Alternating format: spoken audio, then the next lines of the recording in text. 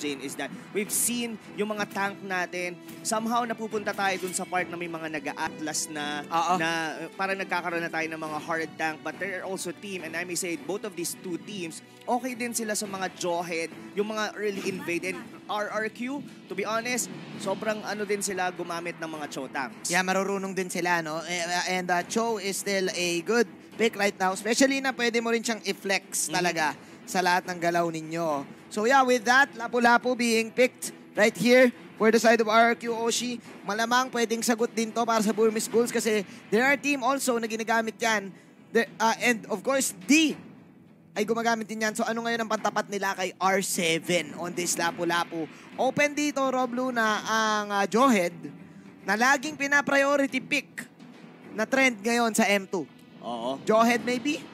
Or Silvana, Silvana, is actually Joel? open, open on this draft.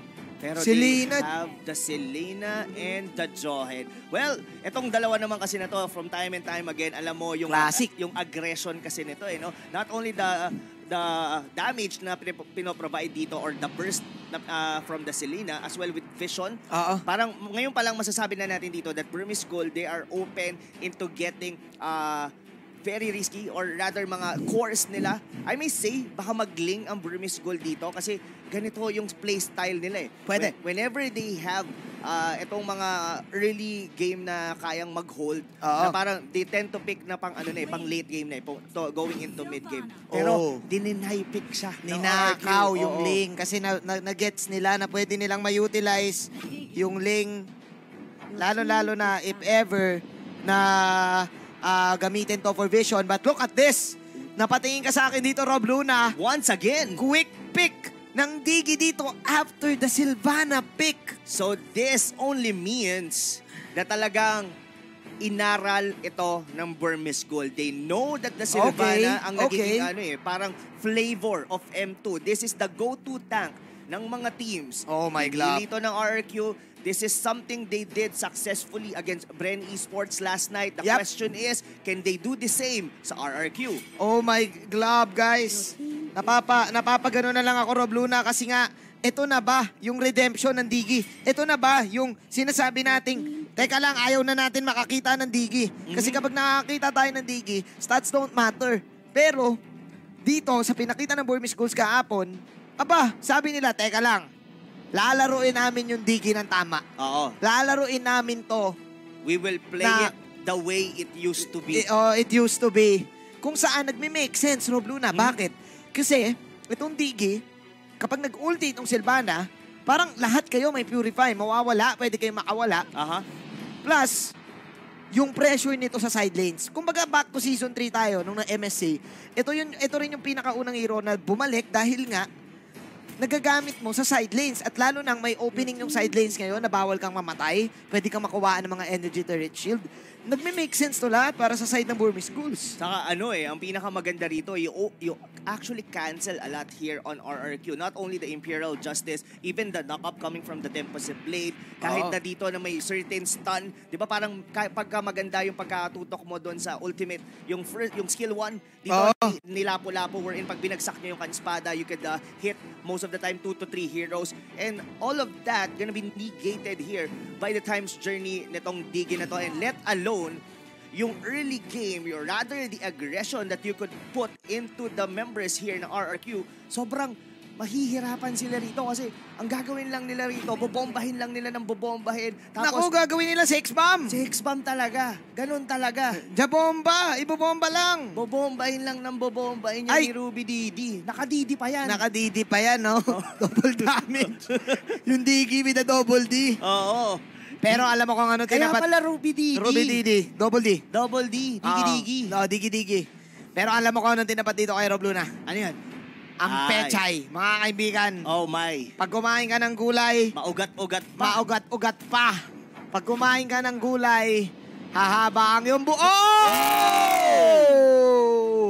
Volta is real. Volta is real nga, Kuya Rob. Nako! Sabi dito ng ah, Ano sabi? Ano sabi? RRQ. Aba, kung kakounterin nyo yung Silvana namin, sige, kakounterin din namin yung Claude din nyo. Oo, kasi ang mahihirapan ngayon dito si Kuya Ace. Kumbaga, mapapa-VR electric talaga siya dito pag tinamaan siya ng electric arrow.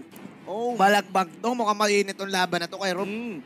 Well, Pero ito, isipin mo. ano yun? Pag tinamaan ka naman ng electric arrow, pwede kasing mag-time journey si Kuya Diggs. Yun. Yun So- yung mga part dito ngayon kay ah, Ruby Didi na ang dami niyang pwedeng inegate. Pero syempre, Kuya Manjin, hindi naman pwede, kada tama, puro ka negate Puro negate. negate talaga, Kasi you oo have eh. to time your times journey. Kaya nga times journey, Time- you have to time it. Yo, ay, nako! Oh! Balmond! This is gonna be the first time. Na nakita natin ang Balmond. Oo, oh, ito, Parang- Ito lang, the only hero on Mobile Legends na naka-jersey. Naka-jersey, siya lang talaga. Alam ko, ito pa yung pinakauna eh. Na talagang pinakaunang meta sa MLBB Esports. Bauman. Pero Eh, parang hindi ko like, parang I don't like it. Parang, parang I don't You like don't it. like it? I don't like it. I don't Ah, like it. What, ah, what, what you think? What you ako, think? Ako Pero, sa totoo, Kuya Manjin, excited ako. with the Bauman.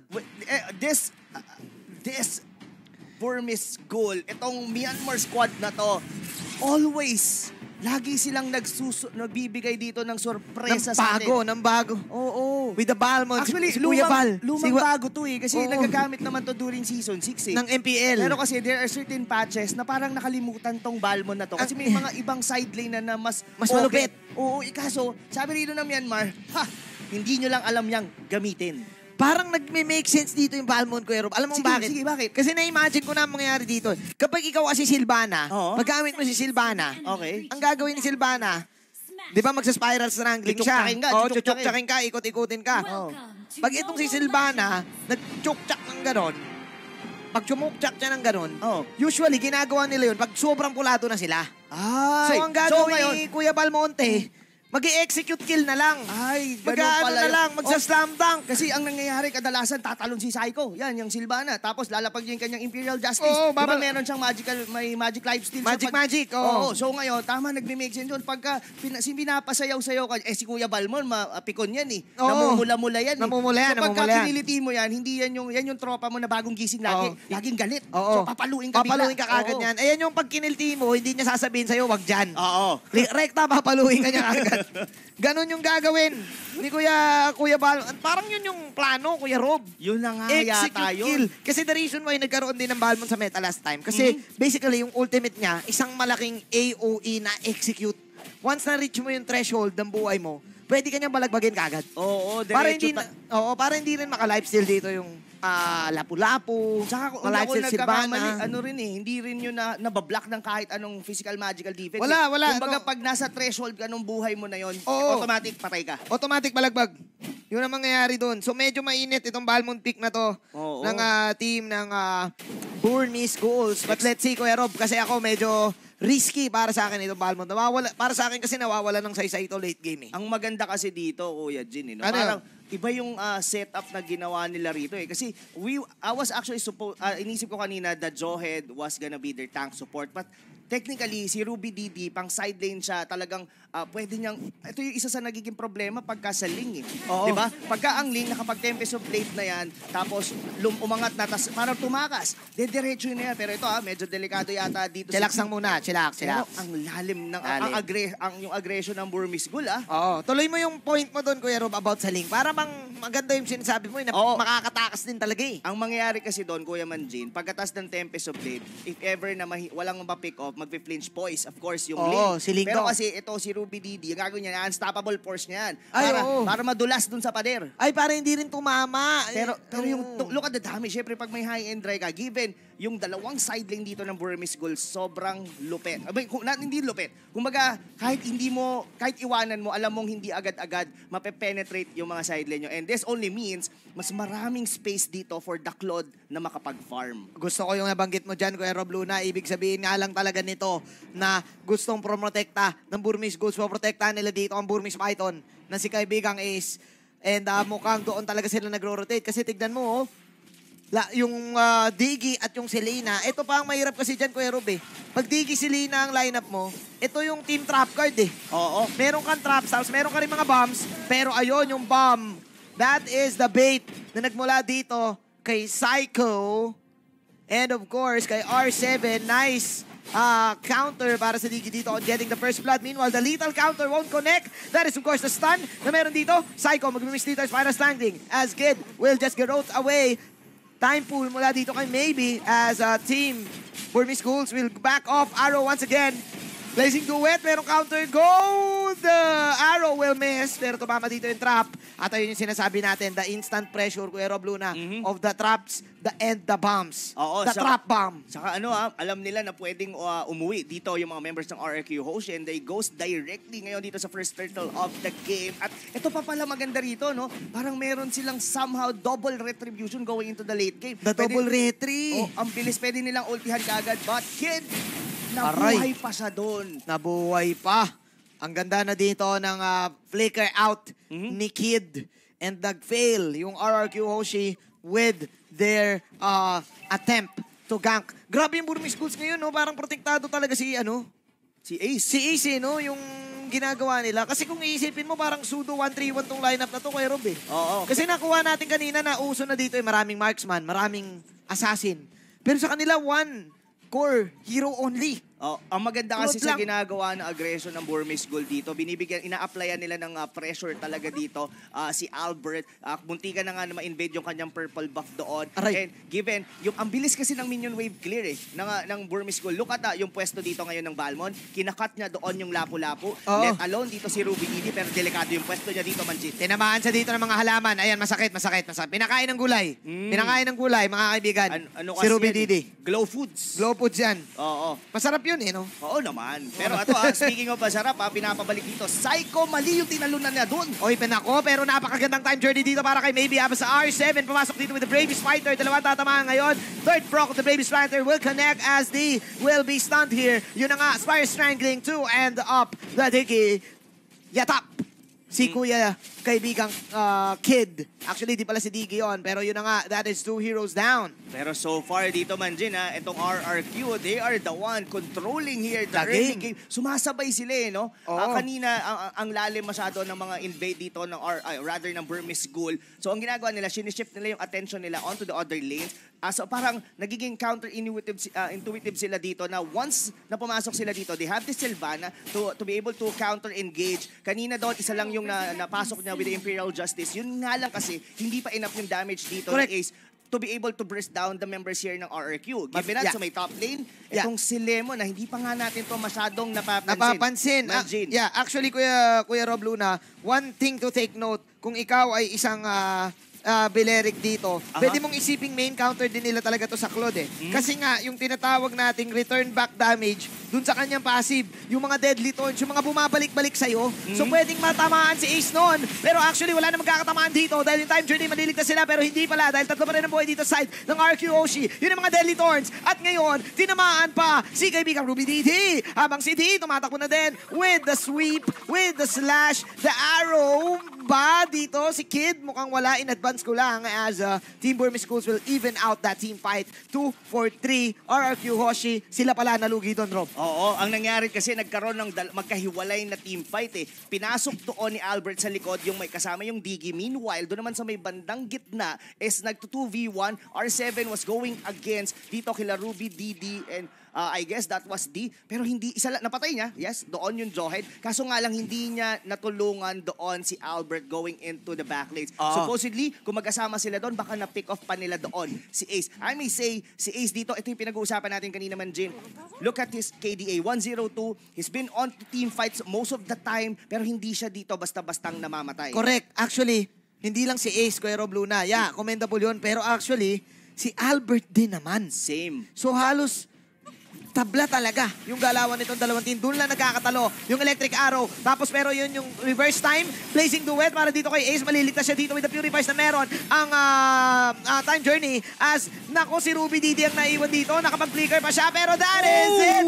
The Wrath of Garad! Mga kaibigan, the Wrath of Dra- Dra- Dryad, I mean, para dito kay Lemon, the clutch ultimate, mga pagulay nitong Belerik will take away the lives of Kid and company. Manjin, gusto ko lang i-commend doon si Ruby Didi. Is actually under too many skills coming from RRQ Hoshi. Isang normal lang, or rather isang dash lang coming from Albert. Kaya niyang patayin. Ang ginawa niya, tinimingan niya. Nag-ejector siya with a shield, nabuhay pa siya doon, and suddenly, nag-turn talaga yung table papunta ngayon dito sa Burmese Gold. Pero si D, he has to flicker out. Pero si Ace, still uncontested Grabe, dito, no? mga kaibigan. Akala ko ang lamang dun kanina, RRQ pare, pero namatay pala si Albert.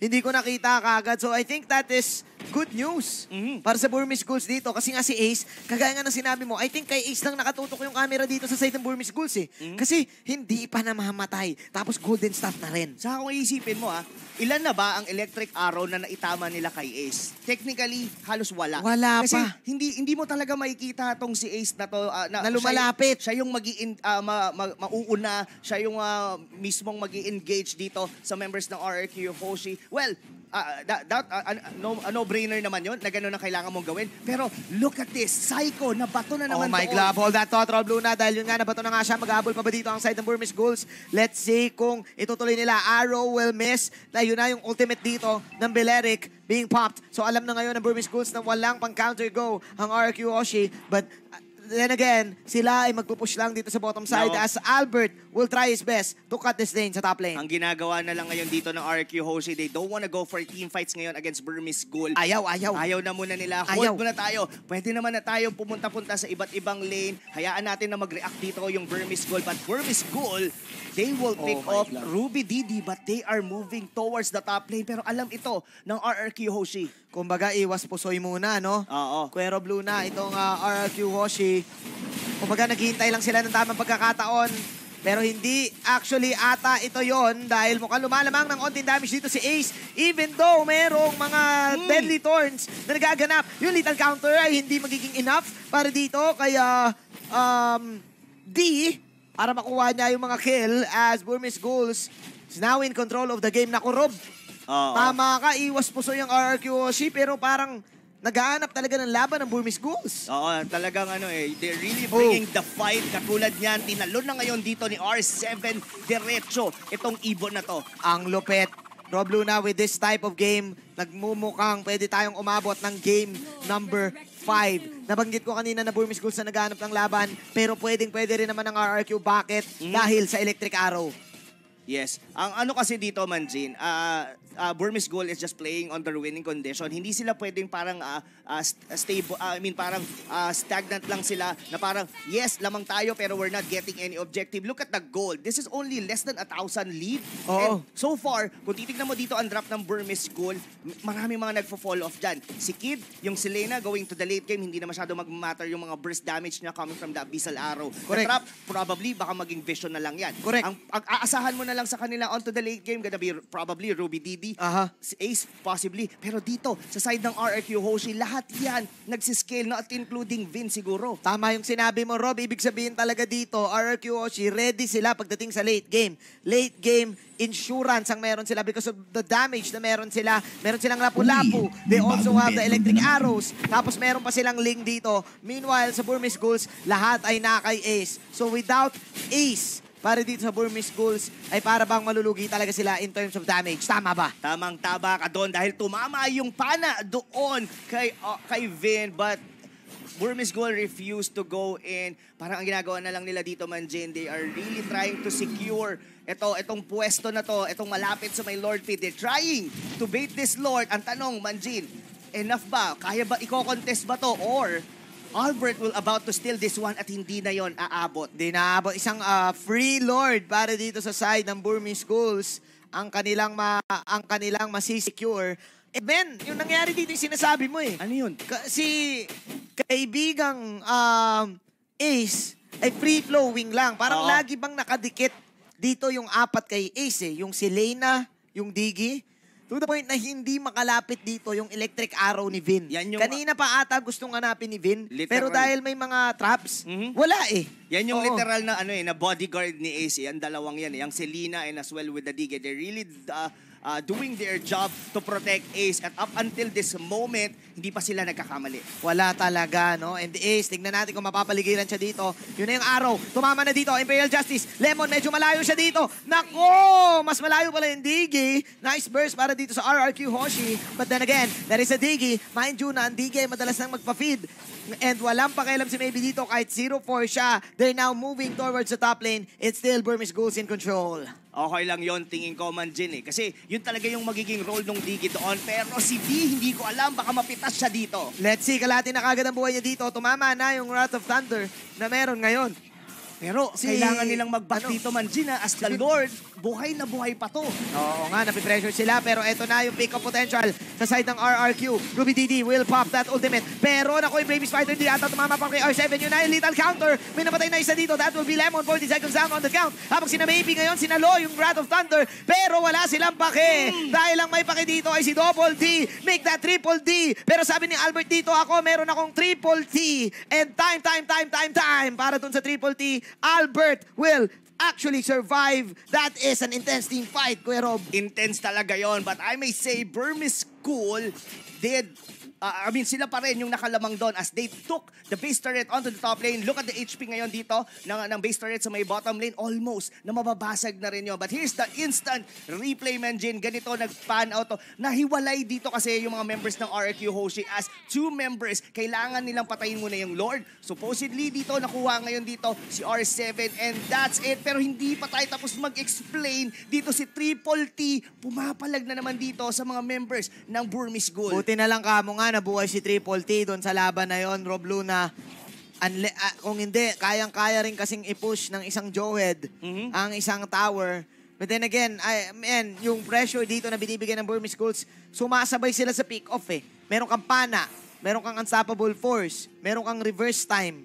Lahat ng panghuli ay meron kayo three options kagad sa Burmese Schools. Meanwhile, RRQ o si Electric Arrow Imperial Justice lang. Pero mukhang eto na nga yung laban dito. The Blazing Duet si Psycho ngayon. Psycho, Pulado, kaya niya ba mabuhay? Mukhang hindi na. Nandito na rin si D. Cyclone Sweep to the lethal counter. Yatap si kaibigang Finn. Habang bumabang, bang, bang, bang, bang, bang. Si kaibigang Ace doon sa bandang gilid. Grabe. Mala Fernando po ang galawan sa pagbarel mga kaibigan. As Albert, patay ang germs. Albert, pumasok na lang sabay. Mamba out. 46 seconds sa Lord. Abangan na lang ni Albert dito. Pero mukhang magpupus na ang side ng Burmese Ghouls. Rob Luna, this is it, Pansit. Game number one, Burmese Ghouls. They did one of the most awkward mistake man, Jill. Grabe. Pinilit kunin ni Albert yung kanyang purple buff to the point na napunta sila sa awkward na position. Wala doon si Lemon. is actually defending onto the bottom lane.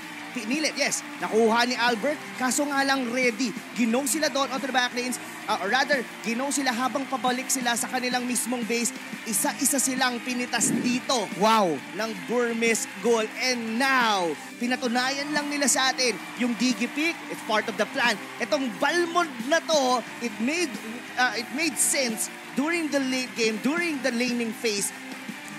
Oh, itong team na to, by far here on M2, hasn't lost a single Hindi match. pa natatalo, Rob Luna. Well, nagkaroon sila ng isang 2-1 sa ano eh, sa group stage.